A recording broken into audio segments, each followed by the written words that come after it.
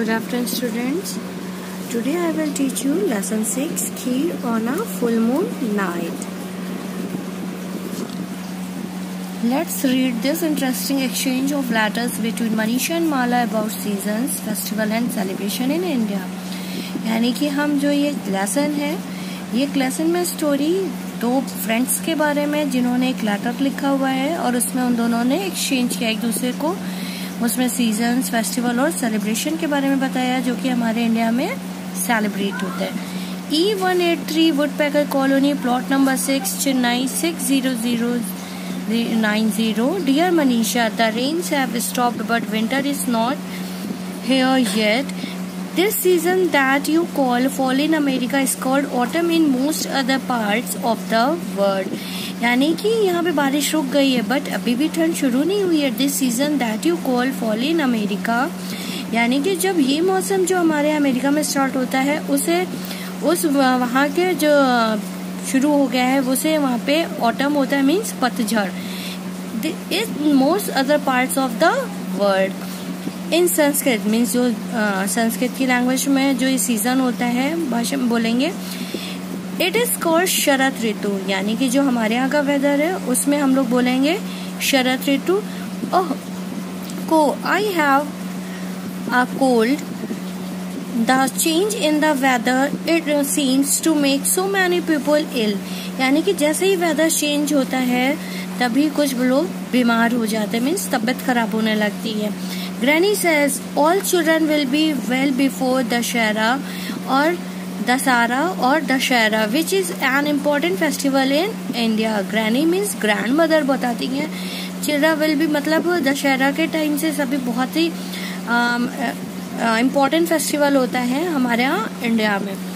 There are so many festival during season और हर season के अकॉर्डिंग बहुत से फेस्टिवल्स होते हैं। Manu has plucked leaves from my mango trees Manu ने क्या तोड़ा? आम की पत्तियाँ। टू मेक अ तोरणम यानी कि तोरनम उसे बोलते हैं जहाँ पे हम लोग लीव्स को एक साथ किसी भी थ्रेड में उसको बाँध करके लीव्स का बहुत अच्छा सा एक झालर से बनाते हैं और उसे हम लोग मेन गेट पे लगाते हैं। I think my brother toranam is the best in the world तभी वो बोलते हैं कि मेरे भाई ने सबसे अच्छा तोरणम बनाया है in the whole world the sky is so blue now the बादल कैसे लग रहे हैं देखने में? ब्लू है. And they are a bright यानी कि चमकदार है. White clouds that look like cotton balls जो व्हाइट छोटे छोटे से क्लाउड्स हैं, जो देखने में लग रहे हैं, जैसे कि कॉटन बॉल्स यानी कि रुई के बॉल्स की तरह। एवरीथिंग सीम सो काम देखने में बहुत ही अच्छा लग रहा है। Tonight we are going to celebrate Sharad Purnima. आज जो हमारे यहाँ रात है तो उसको हम लोग क्या बोलते हैं? Sharad Purnima. The festival is also called the Kojagari और इस फेस्टिवल को हम लोग कोजागिरी भी बोलते हैं। The full moon will make everything around us like silver जो पूरा मून है, उसे वो जैसे कि लग रहा है, जैसे कि सिल्वर मीन्स चांदी की तरह चमक रहा है। We will stay awake at night और हम लोग रात में वहीं पे रुकेंगे। We will drink hot kheer made by white things like coconut rice and milk और जो हम लोग क्या है वी विल ड्रिंक यानी कि हम लोग लोग खीर खाएँगे। और उसमें क्या क्या चीज़ें मिली होंगी? Coconut rice and milk I got an email today my friend आज ही मुझे अब मेरी फ्रेंड का मेल मिला हुआ है।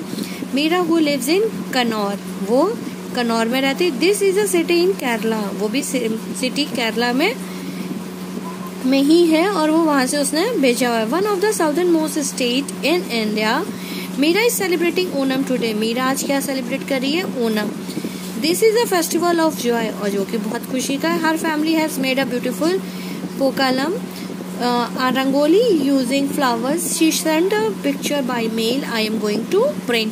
यानी कि उसने क्या बनाया है? पोकलम, यानी कि पोकलम उसे बोलते हैं जो एक फ्लावर से रंगोली बनाई जाती है। और उसने जो है मेल पे उसकी पिक सेंड करी है।